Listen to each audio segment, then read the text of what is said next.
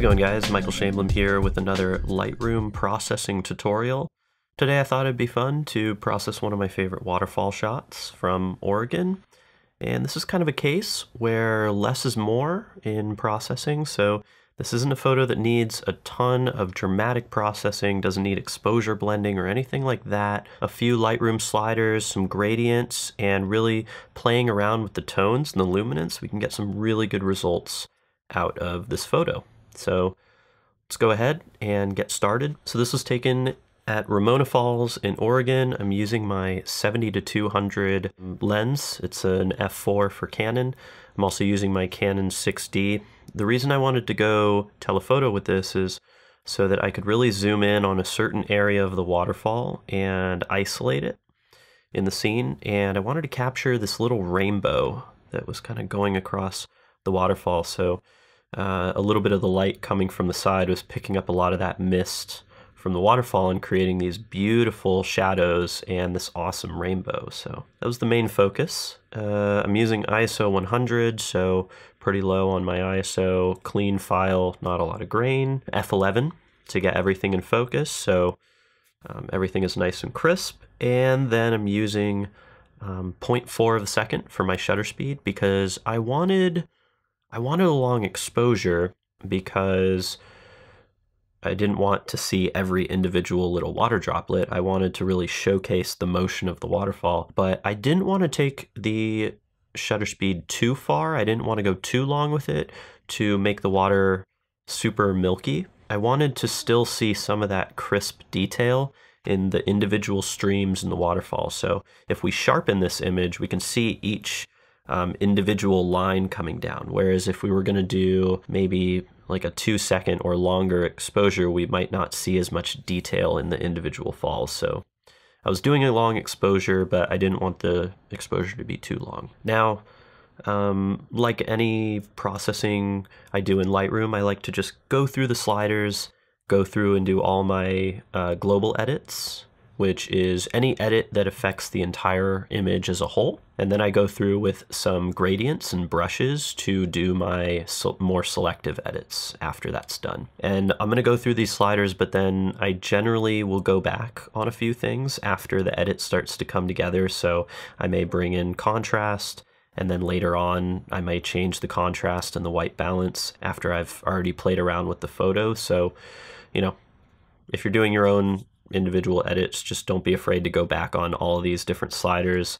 You can pretty much change anything by going to the history panel anyways. So um, you're never really going to destroy your file because you're not actually processing your file itself. You're processing the metadata of your raw file. So your original raw file is always going to be there. The photo is just a touch overexposed. I could go high key with the edit, but I think I want to go a little bit more low key. I want to go darker and really bring out that rainbow. So I'm going to take the exposure down. I have the highlight warning up here showing red. So this is the, the little area of the photo that's blown out. And we can go ahead and change that and get rid of that pretty easily. We can go through and just take down the highlights a little bit. I already got rid of that, that little blown out highlight. Brought down some of the highlights, can bring up the shadow slider taking up some of those shadows. And then bringing up the blacks is going to take, it's going to bring up some of the darkest tones in your photograph. And then I'm going to go up and increase some of that contrast as well. Now, normally I'd say stay away from the clarity slider um, around areas of tonal contrast, like areas that are super dark and super bright. You can get some really bad haloing by using the clarity slider. But for this photo, since we're shooting kind of this diffused, misty scene, if we use a bit of clarity, it's not going to decrease the quality too much. It's just going to bring in a little bit more detail. So that's looking good. I always like a little bit more vibrance and saturation to my photos. The difference between the two, um, the saturation slider is just going to bring up the saturation of all of your colors in the photo. Whereas the vibrance slider is a little bit more smart. It's more of a smart tool and it tries to find the colors in the image that are less saturated and more dulled, and it tries to bring more of those up instead of increasing colors in the image that are already pretty saturated. Most of the time it does a pretty good job, but in this case, a lot of our colors are pretty much the same saturation value. There's really no colors in this image that are oversaturated, so we can bring up the vibrant slider and the saturation slider. Um, so you have your sharpening. We can add just a little bit of sharpen amount if we want to bring up the sharpness. Uh, noise reduction, I don't really need it for this photo, but um, if you find that your photo is getting a little noisy, add some of that. Just don't go too far with the noise reduction. I, I probably wouldn't go over half with it. One thing I like to just apply to every single photo across the board, regardless of what it is, is remove chromatic aberration. And what that's going to do is it's going to remove these little colorizations on the edges between tonal contrasts. So if you have an edge um, where something is super dark and then something super bright, you might see weird little strips of magenta and green. Um, so go ahead and click remove chromatic aberration and the program has an algorithm to get rid of that. Just one click. So now we've gone through and done our um, global edits to the entire photo. I'm noticing there's one or two things I'd like to do.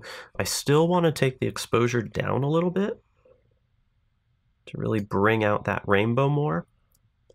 And then I'm actually going to add a little bit of magenta to this photo. So just a few points on magenta. And then I actually want to bring in a little bit more warmth to the top of the highlights um, at the top of the image. And it's going to dull these blues in the water just a little bit. So even just bringing that a few points, you start to see more of the colors top the image. Now I already know a few different things I want to do here with the gradients. So I can use some regular gradients that will allow me to gradate the image and um, individually affect certain parts of the image. And then I can use radial gradients for my vignettes and then even use the brush tool to just brush in a little bit more color and contrast. I'm going to do my gradient tool and I'm going to just click and drag to create the gradient. And I think I just want to affect this little area where the highlights stop. So you can see it already added a little bit of clarity. Um, when you start applying some of these brushes and gradients, sometimes it just auto defaults. But actually for this one, I may actually add a little bit more clarity to the top of the photo anyways, so I'm just gonna bring that in.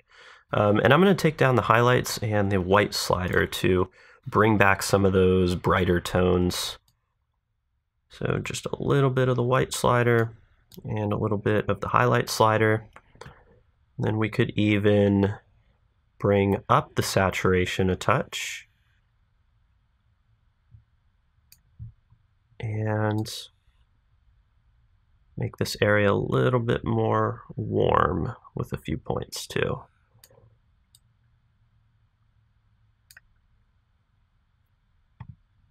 And then one thing that's cool is if uh, if you want to add just a touch of haze to the photo, a good slider for this is actually the dehaze slider. So the dehaze slider will get rid of haze, but it can also bring in a little bit more haze. So if you wanted a little bit more haze up here at the top where the light is hitting, you could take down the dehaze slider just a few points. Not much, maybe two to three. Actually, I'm probably going to do two. A little goes a long way with this slider. And then we Probably got to take the exposure down a little bit. You can see it added just a little bit of glow up here at the top of the photo. All right, so now that we've done that, we can go through with a radial gradient and create our vignette. And I want the vignette to kind of go around this bottom area of the waterfalls. I want more of the attention to be over here at the water or at the uh, rainbow and up here at the top where the light is striking. So I'm going to start the gradient right about here and make a nice big gradient And then we're just going to affect what's on the outside of the circle. So again, it auto defaulted to adding clarity. I'm going to take that down. We can also change the feather a little bit if we want more of a feather. And I'm just going to take the exposure down. Really bring the brighter tones into the middle and the top of the photo rather than towards the bottom. And we can bring down the white slider, bring down a little bit of the highlight slider as well, and even take down some of the clarity around the edges of the photo.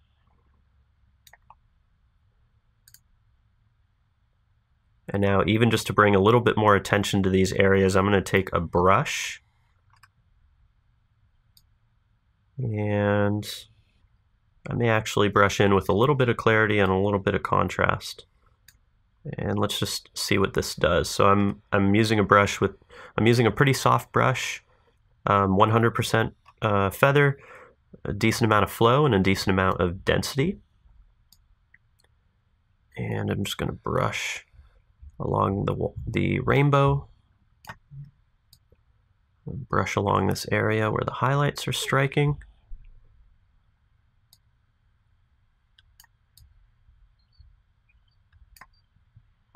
And then I think I'm even going to bring up the saturation just a little bit more so that rainbow really does pop.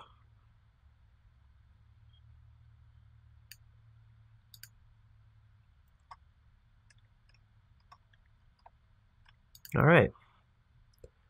So as you can see here, let's go back to our original. You can see our original while a nice composition, um, obviously we had the idea of what I wanted here. I knew I wanted that light striking down and the rainbow right in the middle of the waterfall, but um, it's a little overexposed, a little harder to see the colors, and it, it's a little harder um, for the viewer to travel around the photo and land in the, in the spot that I want uh, the viewer to look. So changing around a few things and using some gradients, we really brought in the light and we're able to bring out some of those tones. I hope this tutorial helps. Uh, let me know if you use this tutorial for any of your own photos. Um, let me know what you'd like to see in the future. Of course, you can subscribe for more uh, free tutorials. I have a bunch on my website as well, and then I also have some longer, more advanced tutorials on my website if you'd like to check those out um, as well. Anyways, thanks again for watching, and uh, yeah, happy shooting.